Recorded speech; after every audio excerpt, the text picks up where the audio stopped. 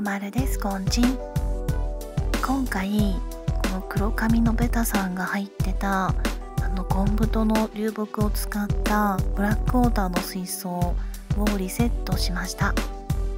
その理由が、まあ、この子の体が真っ黒なのであの水槽だとねどこにいるのか分かんなくって観察もしにくかったので思い切ってはいガラリと変えてみました。で今回のレイアウトは少し新しいことに挑戦してみました。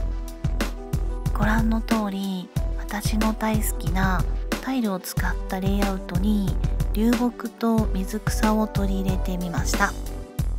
なのでネイチャー×非ネイチャーねレイアウトの新境地を 開けたんじゃないかと思います。今後もこのタイルを使った水槽のレイアウトが私のねカラーとして定着していけばいいなと思ってます。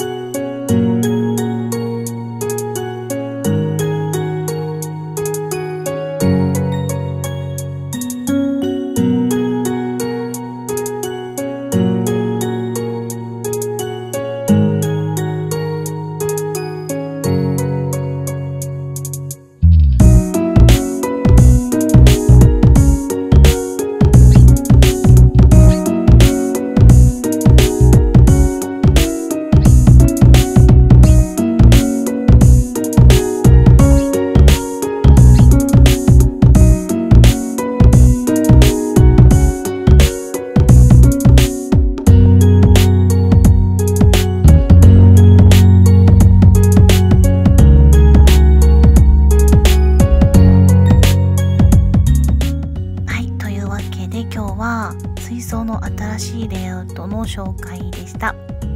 最後までご視聴ありがとうございました。バイチン。